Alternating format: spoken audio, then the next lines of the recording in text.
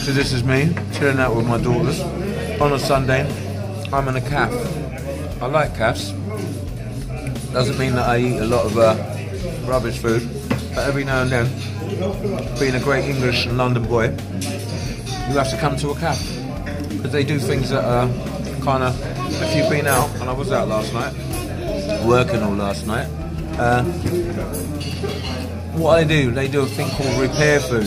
Hang on a minute, baby. They do a thing called repair food. So like an everyday English fry out with your bacon, your sausages, your black heart, uh, chicken rashes or whatever you, you want.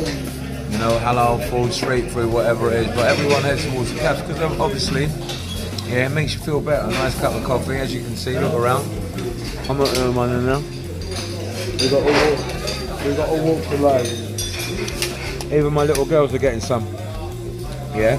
So uh, Daddy's waiting for his food now. But let's remember, the roast will be about four o'clock this afternoon. But for now, we're what we're doing. We're calling the crash out breakfast. Just trying to repair yourself.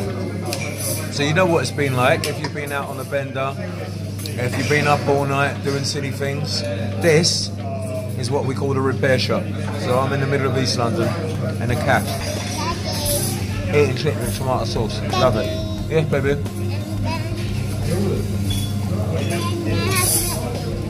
You can have milkshake. I'll order you one now. I just, I just want milkshake. I want ice cream and then ice cream. She doesn't. So you don't want milkshake, you want ice cream. I do eat that. There's no ice All right. So what do you want? Tell me what you want. Ice cream.